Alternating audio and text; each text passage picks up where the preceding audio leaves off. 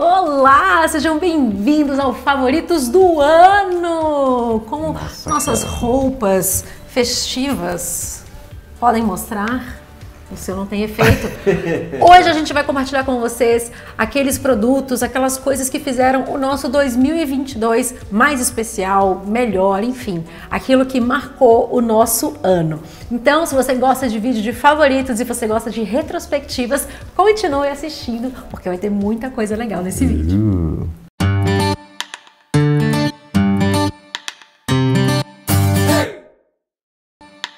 E esse favorito está, assim, misterioso, porque a pessoa chegou aqui. Ele só viu um, ele tá assim, cadê os é, outros? Cadê os outros? Cadê os Falei, outros? estão todos aqui. Ah, então pode começar, amor. Eu vou começar, Uhum. mas eu vou começar sem surpresas, porque assim, eu escolhi os meus favoritos num crescendo. Entendeu? crescendo, ok. De mais óbvio ao mais misterioso e do menor para o maior. Pra mim já tá tudo misterioso. Nossa, olha ela, gente, clickbait. Então tá, eu vou começar com favoritos bem clássico do canal e clássico Lu Ferreira, porque ele tem lilás. Não pega, não, tá sujo, menino. Eu não limpei pra fazer esse vídeo, eu simplesmente catei ele ali. E eu Mas, uso assim, tanto é- esse Vans. Cara, é, é a pura verdade, porque, tipo assim, ó, tá sujo, velho. É isso, tá usado, né? Usadão. Porque usadão, né, cara? E assim, eu, já- eu lavo muito esse tênis, porque como ele tem lona, é, tipo, creme, aparece sujeira, né? E como eu uso muito, eu já lavei ele várias vezes. Eu comprei Vans no início desse ano e eu nunca tinha tido desse modelinho. Mas esse é um modelo super clássico, né, da Vans. E aí, como eu reparei que eu tava, assim, eu só gostava de sapato de enfiar no pé, eu falei, talvez eu devesse testar esse Vans, porque eu sempre achei estilosinho assim, mas eu achava que não era muito pra mim, gente. Usei tanto, mas tanto esse tênis, que eu comprei um preto. E eu uso muito os dois. É. O preto tá ali na área Eu achei lavar. que você escolheu o preto. O preto? Você Não, falou assim, esse- eu, vou, eu já sei, um, um- um favorito vai ser o Vans. Eu peguei esse porque esse foi o primeiro. Ah, entendi. Entendeu? E assim, ele é incrivelmente versátil pra ser um, sabe, um tênis quadriculado, lilás e branco. Tudo bem que lilás pra mim é quase um neutro, né? Eu uso ele com todas as cores de roupa. Inclusive, a gente vai viajar, eu falei, eu vou usar esse tênis na estrada porque ele vai combinar com a minha mala inteira. Então assim, gente, Vans, sapato só de enfiar o E ele é pé. confortável? Ele é muito Tem confortável. Vans, cara. Na primeira vez que eu usei, esse modelo especificamente, esse roxo, porque o preto não aconteceu isso, ele me incomodou um pouco nessa parte do elástico. Aí eu vi que tinha tipo um acabamento meio grosseirão assim, dei uma lixada, cortei, customizei. E aí passou, assim. Agora, aqui, ele é mega confortável. E a gente pegou o hábito na pandemia de tirar o sapato para entrar em É casa. verdade. E ficou mais prático ainda, né? Ficou ainda mais prático, porque, mano, eu pegava a sandália, tem que sentar e... Em 2022 eu não quero amarrar meu sapato, eu quero só enfiar uma coisa e com o pé. Vamos ver o que 2023 vai trazer pra nós. Tô um passo de ficar andando descalço. porque- Mas, gente... Tô muito fã desse modelinho da Vans. É, preciso me segurar pra não querer outros, porque sabe assim, é tão prático e tão gostosinho de usar que se, se pudesse eu só usava isso. Foi definitivamente o sapato que eu mais usei esse ano. Meu primeiro favorito. É o seguinte, galera.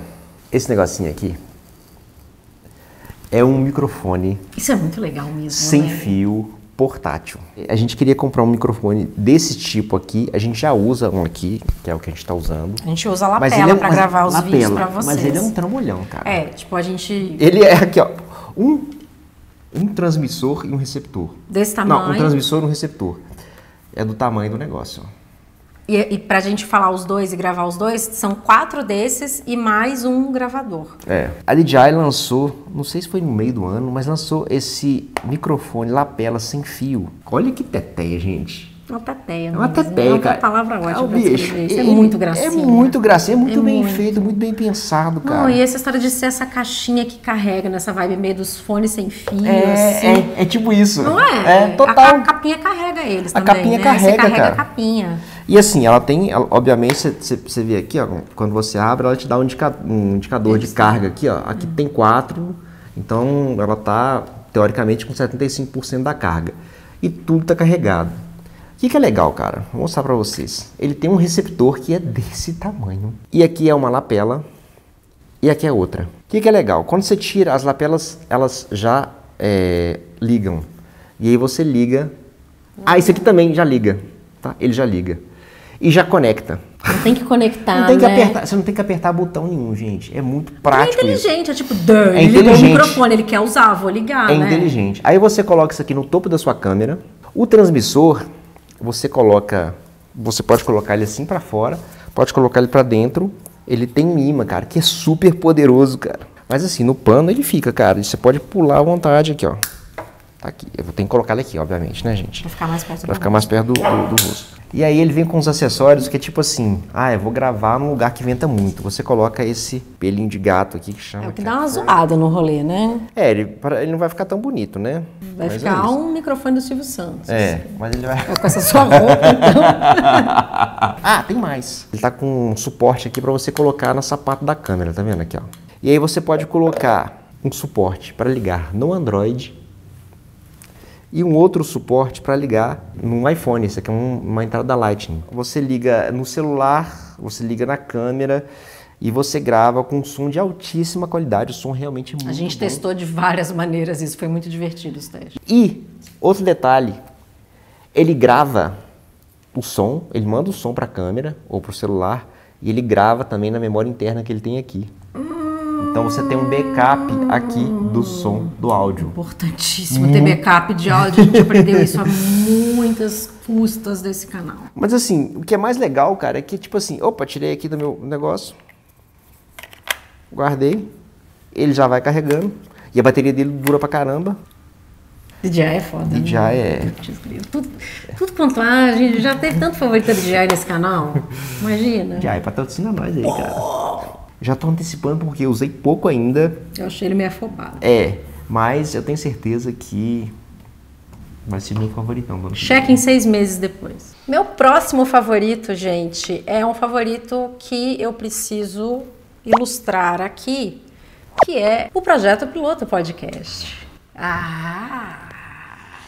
Ah, Te surpreendeu? amor. Ah, essa agora você tirou da manga, hein? Tirei Você da tirou da manga. cartola. Foi. O negócio é o seguinte, gente, quando eu fui escolher os favoritos, eu fiquei muito em dúvida. E eu te confesso que eu fui até no meu feed do Instagram pra ver o que, que eu fiz esse ano, porque eu não conseguia pensar em coisas pra eu escolher assim. Foi um ano que eu acho que a gente teve outras coisas que marcaram muito. E uma delas foi o projeto piloto voltar, né, em, em gravação física, porque assim quando a gente estava gravando durante a pandemia, cara, não, não tava rolando tanto, assim. Eu tenho uma questão com coisas online que eu falo que eu sou pisciana, não consigo prestar atenção, mas assim, eu, realmente. eu a gente não consegue se conectar com as pessoas tanto no online, né? É diferente quando você tá presencial. Mas aí quando a gente voltou a gravar, né? Depois que a gente se mudou pra cá e que a gente voltou a gravar, gente. Foi de longe o projeto que eu mais amei ter feito esse ano. Deu bastante trabalho, né? A gente, eu não sei se vocês repararam que os primeiros episódios tinham um cenário de um jeito, aí foi mudando, né? A gente com a produtora, a gente foi melhorando, a captação foi melhorando, a edição foi melhorando, né? Foi um processo de aprendizado para todo mundo envolvido, inclusive pra gente que Os convidados, né, cara? então, que a gente passou a poder trazer pessoas muito legais e muito fora da nossa bolha, assim. É muito legal receber amigo no podcast, porque é legal estar com amigo em todo lugar, né? Então, obviamente, sempre que algum amigo tem aí algum projeto, alguma coisa que é legal compartilhar, é muito bacana poder, né, trazer mas principalmente conhecer pessoas novas, pessoas incríveis. A gente conheceu gente tão legal. A Shelly, do episódio sobre Aham. estupro, que assim, Aquilo, gente, aquilo ali foi, foi uma aula, o cara. episódio é muito forte, muito maravilhoso.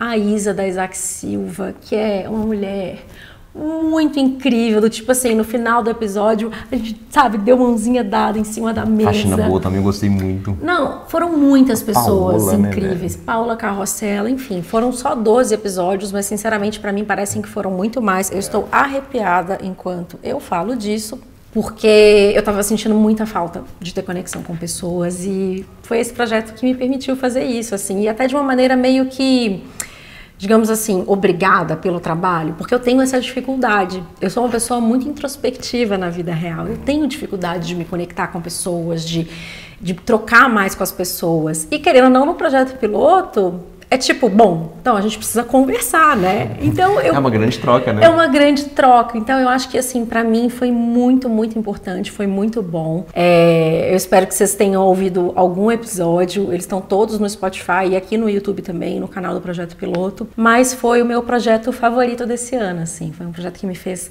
crescer muito, me fez conhecer pessoas incríveis e sempre ao lado da Thaís, né, que é minha amiga, que foi super importante no meu ano também, até na nossa mudança, né?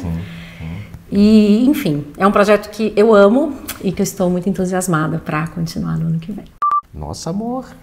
Vou te falar, cara. Aí agora você, agora você vai pegar um trocinho aí, hein? Como é que você É, agora como é que vai ficar, Leonardo? E aí? Como é que fica Qual aí? que é seu favorito? É o microfone. Depois dessa aí. E aí, e aí, o que, que você trouxe? É, eu vou pegar lá fora, que acho que tá secando. Olha, ele inventou um favorito. Não, eu te falei já. Olha ele chegando com esse favorito, adorei. Esse favorito aqui é do Eu naipe. adorei. É do naipe do Vans. Do Vans, é. Isso aqui é o seguinte, cara. Esse. É, no meu aniversário a Linda chegou e me deu. Tava frio, né, cara? Tava muito frio, a gente passou muito frio aqui em Ela me deu gente. essa- esse- Aniversário em setembro. Esse. Como é que chama isso aqui? Que peça que é essa? Moletom? Esse moletom. Mas ele é um moletom diferente, cara. Ele é Ele é, meio ele é fofinho. carneirinha, gostoso. É, ele é fofinho. Da Bolovo, cara, que é uma marca que. Você falou aqui que é dos filmmakers aqui de São Paulo. As pessoas, eles, os fundadores da marca são. São- É. São cineasta, filmmaker. É, e, tudo, e, é, videomaker, e é né? Bolovo Productions. É, tudo aqui, ó. tem essa coisa de. É, go out, make some memories. Meio, tá vendo? É uma, é uma onda meio Bolovo Productions. É. uma onda meio de cinema, assim, de vídeo. Eu fiquei viciado nesse negócio. Usou dia sim, dia também. Usei Ainda mais essa é, friaca dessa cidade que não faz calor cara. quase nunca. Porque é muito gostoso e é muito bonito também, cara. Eu- Sabe quando você coloca uma roupa e fala assim, oh, essa roupa. E eu me sentia assim quando eu colocava aqui, inclusive aqui dentro de casa, entendeu? Quando fazia muito frio, porque ela é quentinha e muito fofinha, e, enfim, gostei muito. E assim, nessa friaca de São Paulo, cara, um, um agasalho bonitinho, gostoso, que se sente confiante, você se sente assim mais também, sabe? É tipo assim, pô, eu sou um surfista, eu vou usar o quê? Roupa de surf, de surf, sabe? Eu sou o quê? Um videomaker, vou usar roupa de videomaker, sabe? Você se sente representado, entendeu?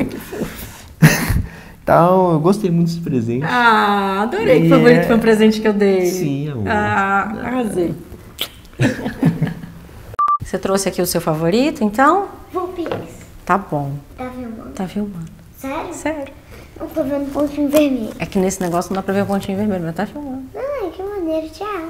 Bom, como vocês puderam perceber, a gente trouxe aqui o favorito da Bibia. E aí, quando a gente foi pensar no que, que a gente traria da Bibia, eu acho que é a coisa que vai marcar esse ano, assim, tipo, ah, lembra aquele ano que ela pirou com Pokémon?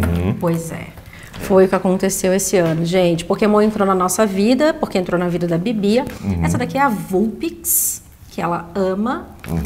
Esse é o álbum que ela guarda as cartinhas dela de Pokémon, Pokémon. que tá Já assim, o amor, vou te falar.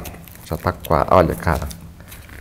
Esse álbum é chique, tem Esse cartas que a gente comprou lá na, em Dubai. Quando a gente se mudou, é, a Bia, antes de começar as aulas, né, a gente se mudou no meio das férias de julho, e aí a gente colocou a Bia é, na colônia de férias da escola em que ela ia estudar. Para chegar no primeiro dia de aula, e ela já conheceu o lugar, já está um pouco mais ambientada, já que tu, todo o resto ia ser novo para ela. E aí, um dos garotos que estava na colônia de férias gostava muito de Pokémon, falava de Pokémon o tempo inteiro. E aí, ela chegou em casa e falou: Mamãe, você conhece Pokémon? Eu falei: Filha, conheço. Tipo, há muitos anos. Pokémon existe aí, ó, minha filha. Ah, porque não sei o que. Aí ela começou a mostrar interesse. Aí descobriu que existia carta Pokémon. Aí pediu carta Pokémon. Aí descobriu que existia o desenho. Começou a assistir o desenho. E aí foi.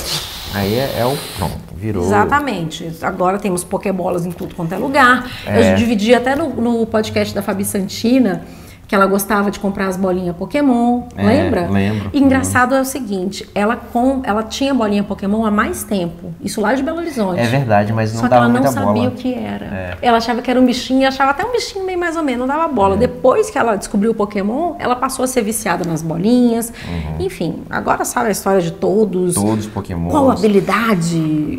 Ela- o que, usa que é um Pokémon termos. da água, Pokémon de energia, o Pokémon de fogo. É, e eu acho que isso é interessante porque marca uma, uma mudança muito grande na vida dela, é, que ela agora consegue entender histórias mais complexas, né? É. Tipo, o personagem ele tem uma motivação, ele evolui, ele é treinado, né? As histórias até então elas eram muito lineares, muito basiquinhas, e eu acho que ela começa a entender coisas um pouco mais complexas. O raciocínio dela começa a, a funcionar de outra maneira, né? Assim, é, então eu tô achando muito interessante, assim, que agora ela tá indo para essas coisas que a gente lembra da nossa infância. Então, tipo Harry Potter, Pokémon, são coisas que eu lembro e que a gente pode curtir junto com ela de novo, né? Assim. E agora é muito mais legal, porque Tô eu posso doido comprar pra chegar as a coisas. fase do Star Wars, que aí ela.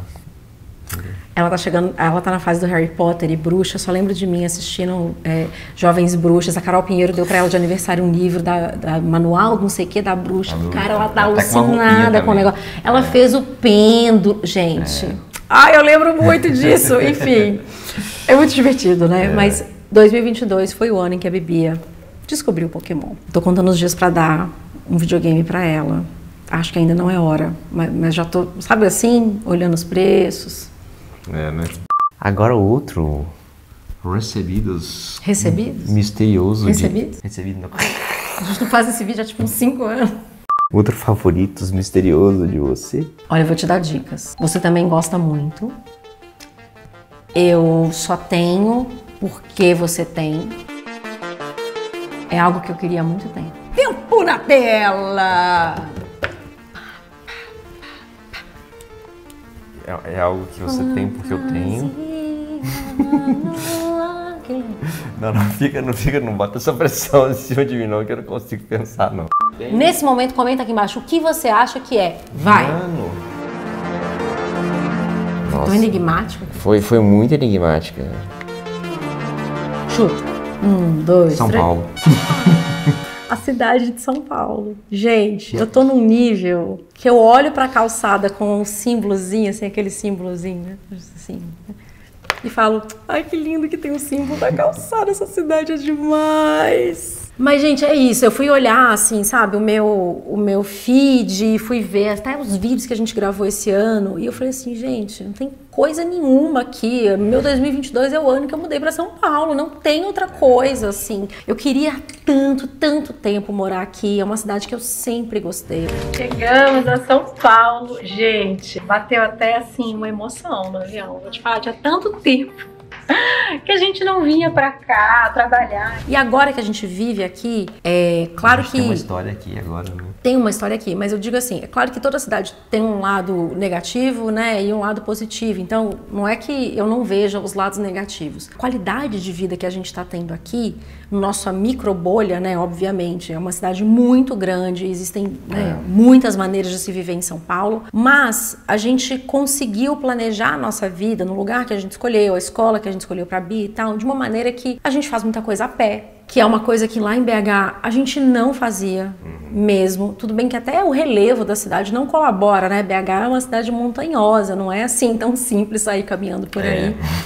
Mas, ainda mais dependendo da região que você mora, e a gente morava bem no pé da serra. A gente morava bem pertinho. é. Eu passo no mercado depois de, sabe, fui num compromisso e aí eu passo no mercado. Eu falo mercado e não supermercado mais, porque é assim que se fala em São Paulo. Mercado, eu achava isso engraçado. Praças, cara, eu vou te falar uma coisa. Praça, a gente Praça. vai nas praças, nos, Nos parques. parques. A gente usa mais a cidade. Usa mais a cidade. é Sabe? palavra. Eu falei várias vezes esse ano, assim, com amigos e tal, que, nossa, parece que eu tô viajando. Mas eu acho que é por isso, assim. Porque a gente tem uma vida aqui é, de andar mais. E como a gente não é daqui, então tem muita novidade. Então você tá andando e vê uma. Olha, isso é assim, nossa, isso é diferente, é isso, sabe? Eu vejo a padronagem da prefeitura na calçada e falo, oh, que legal. A cidade oferece pra todo mundo, cara, é, muito lazer, muitas opções para você se exercitar, muita praça para você caminhar, para aproveitar. A gente vê as pessoas usando mais a Parque. cidade também, né? É. Você você corre no Minhocão, você tem a sua galera que corre no Minhocão. É, a- o pessoal. Ibira. Ah, O Léo tem um grupo do WhatsApp da galera do cachorródromo da praça que ele frequenta com a Matilda. Sabe assim? Com certeza esse é o ano que que São Paulo né, entrou na minha vida, que a gente se mudou pra cá, que eu re- realizei esse sonho. Eu sempre sonhei em morar aqui. E tá sendo muito bom pra mim. Tá sendo. Realmente eu tô me sentindo muito bem aqui. Tô gostando muito da vida também. que a gente tá construindo aqui. E tô animada, né, pro que tá por vir aí. Sim, é, sabe o que é mais legal, cara? As coisas já estão meio que se encaixando aqui na nossa rotina, então já tá ficando. Mais fácil, ficando né? mais fácil. Porque esse momento de transição é bem É, difícil, é um pouco assim. difícil. É. A gente teve meses muito difíceis E aqui. tipo assim, teve um sábado que eu, que eu quis fazer cinco coisas e consegui fazer três, porque tipo assim, eu não tinha noção das distâncias, do que fazer, de como é que ia ser, É. sabe? Aquela coisa assim. Passando os perrengues. A gente passa, a gente vai, vai, a gente vai se, reajust- se ajustando a essa nova realidade. Mas, cara, a cidade é incrível. Aquilo que você falou, eu sinto muito, parece que a gente está viajando. Às vezes a gente viaja, a gente viajou recentemente agora e eu falo assim, ah, ok, a minha cidade também é muito legal. É isso, sabe? Eu acho que BH tem muita coisa legal, Tem, mas a gente se BH é incrível identifica muito com, com São Paulo e com o estilo de vida que a gente está conseguindo ter aqui, com as pessoas que a gente conhece que moram aqui. Então eu acho que veio na hora certa e estou muito feliz de estar aqui. Sim, eu também. Você tá sem graça de mostrar esse favorito agora? Não. Sabe, eu só fiquei pensando que ano passado um dos meus favoritos foi a vacina, sabe? Eu falei, como que eu vou superar isso? É verdade. Não, aquela Difícil. também foi surpreendente. Aquela foi doida. né? Aquela foi doida. Todo mundo ficou. "Oh, oh!" Nossa, como eu não, não lembrei disso. Foi um chorou. favorito extra. A gente chorou. A gente chorou. Mas enfim, esse aqui, cara, é o meu favorito. Posso dizer também que eu não estou há muito tempo com ele, é, mas estou usando bastante, bastante. Esse aqui é um MacBook Air M2. Ele é muito, muito levinho. Pega aqui pra você ver. Muito levinho, muito fininho, muito portátil. E já tem uns, sei lá, dois ou três anos que eu não tenho notebook, cara. Eu tentei é, concentrar tudo no iPad, mas eu amo iPad. Ele é muito legal, divertido de usar, mas tem algumas coisas que Tem limitações. tem limitações, é. Tipo assim, vou, eu tô viajando, quero passar, copiar um arquivo grande, mandar pela internet, uma coisa que a gente gravou no iPad, cara, é um sofrimento. Mas tem um outro lado que é o seguinte, eu, eu me acostumei muito com os aplicativos é, do- de mobile e de iPad, e muitos deles agora a gente pode usar no, no MacBook, cara, na, até no computador mesmo, né? Isso foi um fato determinante para A eu. gota d'água. Foi a gota d'água, eu falei assim, ah, não quero esse negócio mais não. Pronto! Pronto, cansei. Enfim, mas eu ainda chego e toco na tela desse aqui de vez Eu em também quando. faço isso com o meu. É um computador muito gostoso de usar. A tecla dele é uma delícia. É, esse no, que eu, esse touchpad aqui, na minha época, né, ele tá um pouquinho sujo aqui. Na minha época, ele não era tão grande assim, não. Cara, como é que é grande? Na minha época. Quando, o E último esse que eu tive. negócio de desbloquear, que é só você meter o dedo? É, esse negócio, esse negócio é muito legal, cara. Não, é muito é doido. é tipo filho de um notebook antigo com um É, iPhone, né? é. Essa geração celular. Doido demais. É muito legal. E assim, eu tenho um desktop aqui e tô pensando seriamente em tirar esse desktop. Esse computador é bem capaz, é, assim, dá, dá e sobra porque eu preciso. E ligar ele no monitor grande também, usar ele como meu desktop. Tem muita gente que faz isso, né? Coloca É. no suporte, assim, ele e ele fica como suporte. E aí o bom é que, tipo, você não, não passa aquela história de, tipo, putz, esse arquivo não tá aqui. É, exatamente. E tipo assim, cara, eu, eu já tô sentindo que essa compra aqui foi uma das mais acertadas desse ano, de, de equipamento e tal, porque eu tava passando muito perrengue, cara. Tava difícil trabalhar. Tava né? difícil trabalhar, entendeu? Me ajuda que eu te ajudo. Aí não tava. Ele não tava te ajudando. Não tava me ajudando, eu tava querendo muito, mas ele não tava me ajudando. então, no iPad. é, gosto muito, mas, cara, não tem jeito. Eu tentei, eu tentei botar na minha cabeça que um ia substituir o outro. Fiz, me esforcei ao máximo para que isso acontecesse, mas não aconteceu. Então, estou de volta. Bom filho a casa torna. Então, Peguei de volta o notebook e agora, A adeus gente, iPad. A gente é velho, amor. A gente não é dessa geração do- dos touch, dos pequenininhos. É, não. né? Eu gosto de olhar no computador. Ainda, eu, com um negócio desse, ainda quero um mouse do lado. É esquisito. Eu quero um mouse. Eu quero, entendeu? Um Segurar. mouse com aquele mousepad, né, cara? Um mousepad que põe dentro da bolsinha do notebook Comenta aqui também. embaixo eu uso mousepad até hoje. Eu, eu quero um mouse pro meu. É isso. esses foram os nossos favoritos de 2022. E como sempre, a gente quer muito saber quais foram os seus favoritos. Comenta aqui embaixo o que mais marcou o seu ano. E a gente quer aproveitar esse vídeo para agradecer a sua companhia ao longo desse ano. E a gente tá muito feliz com a programação que vai chegar aí no ano que vem. Boas festas e até 2023. Um beijo e até lá!